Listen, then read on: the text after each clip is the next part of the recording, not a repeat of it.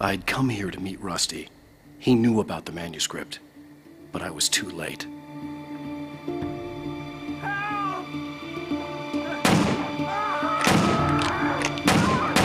Rusty! Something had taken Rusty. He had the pages on him. I had no choice but to follow.